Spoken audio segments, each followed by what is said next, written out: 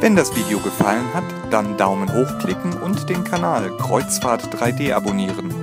Ihre Buchung auf kreuzfahrt-3d.de unterstützt unser Projekt.